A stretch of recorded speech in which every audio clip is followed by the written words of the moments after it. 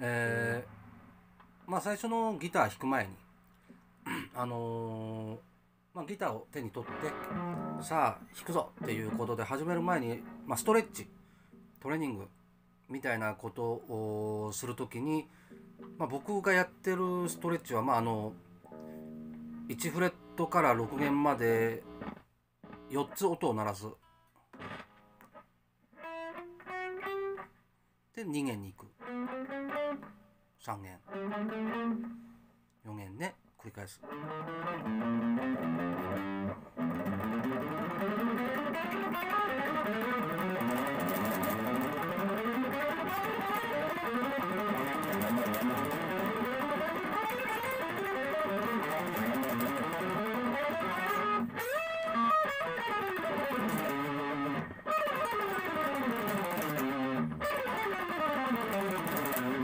っていう感じで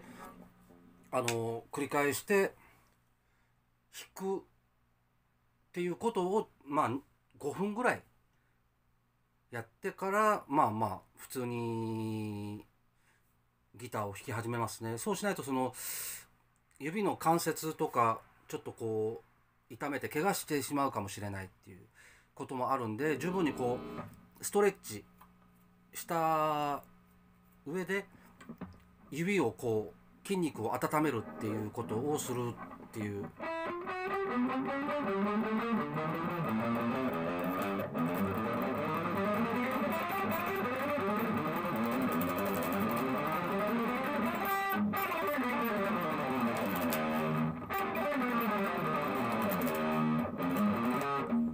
まあこういうことを、うん、結構昔はかなりやってましたね。指を動かせる、まあ、ピッキングの強化をするっていう。これだけでもすごく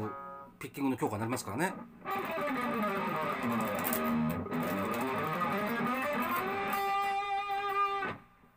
うんあとはそうですね。うん。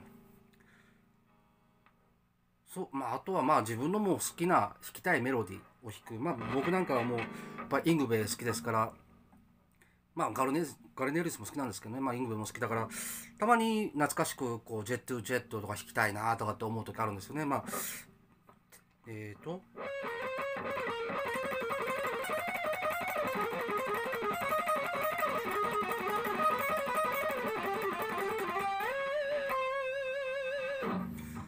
でこれを最初にやったやった時ちょっと難しいんですよね。その指の。6連符。1 1 2 3 1 2 3 6連符で。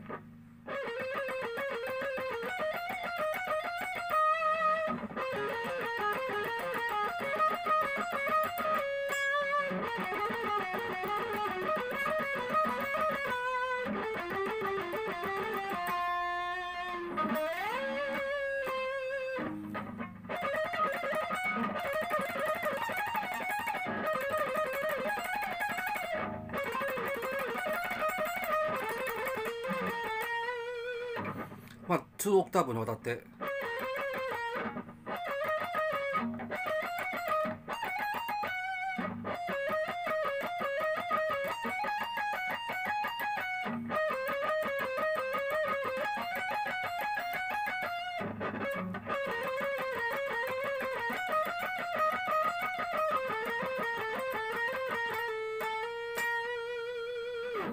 ていう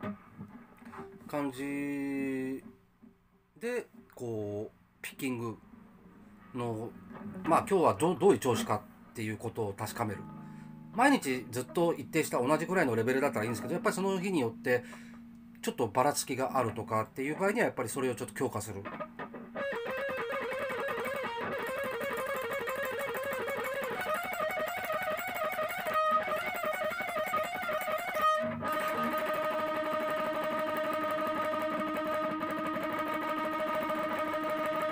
っていう強化もしてましたね。ずっとまあうんテレビ見ながらなまあそれでもギター練習したいって時はもうほんと何もこう抑えないで右手だけこのピッキングだけ。っ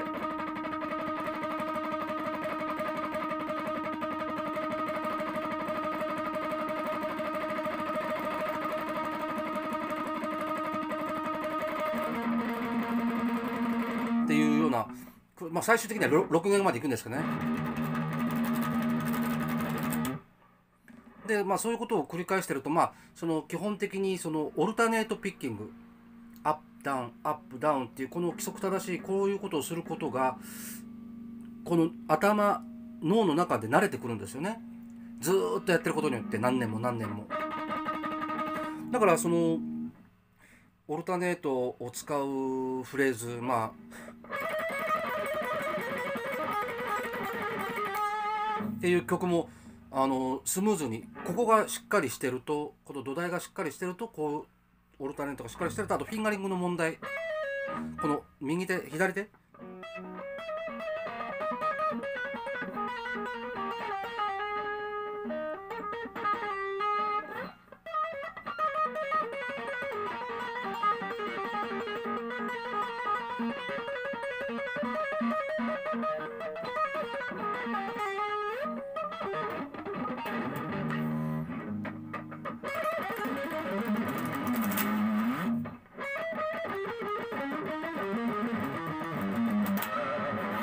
っていう感じで、まあ、ピッキングの方はあのートレーニングして強化して、まあスまあ、スイープでもそうなんですけど最初からそのトップスピードであの弾ける人っていうのは絶対いないんでゆっくり弾いて弾けないものを早く弾けるわけがないっていう。だからそのまあライジングフォースイングベ・マルムスティンのこの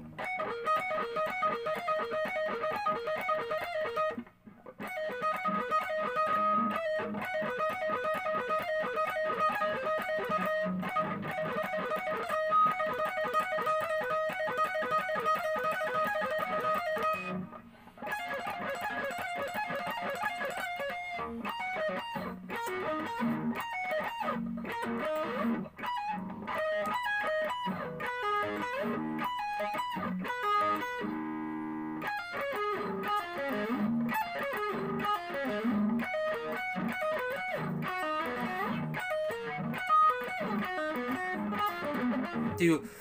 あの、まあ、最近ちょっと全然弾いてなかったんでちょっと思い出すのにちょっと一生懸命だったんですけど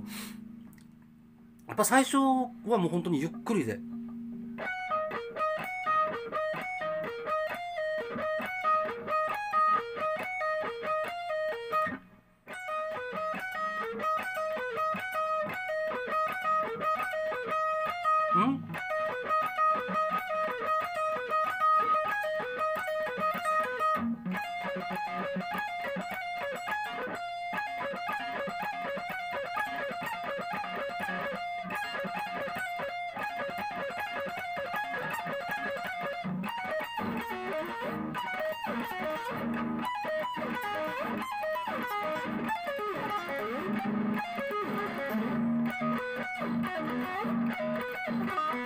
っていう感じで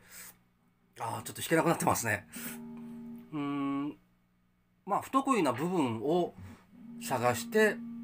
ひたすらそれをこう練習するっていう。うーまあそういう練習。昔まあ僕もこういうえー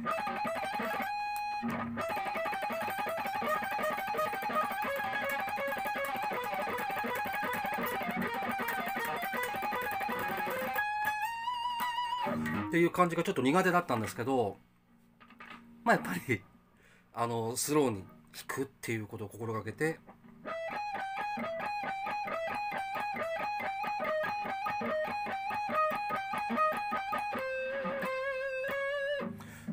やってましたね。でだんだんだんだんこうスピードアップして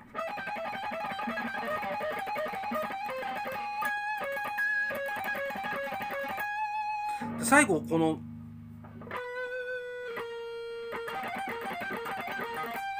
ここがスキッピングしなければいけないんですよ。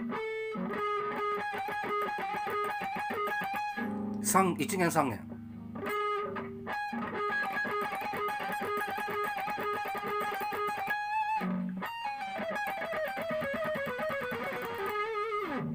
ていうまあ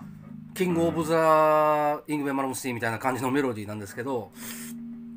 まあ、こういうメロディーあなんかありましたねそういうフレーズ。えー、あありましたね。えー。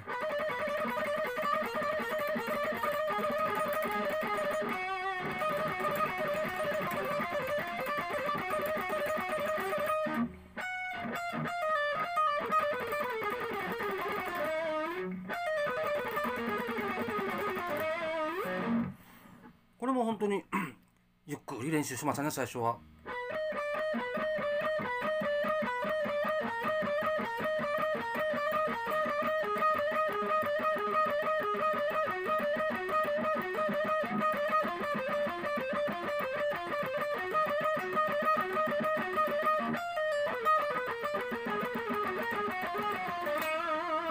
っていう感じで練習しましたね。時間経つの早いですね。ちょっと一旦終わります。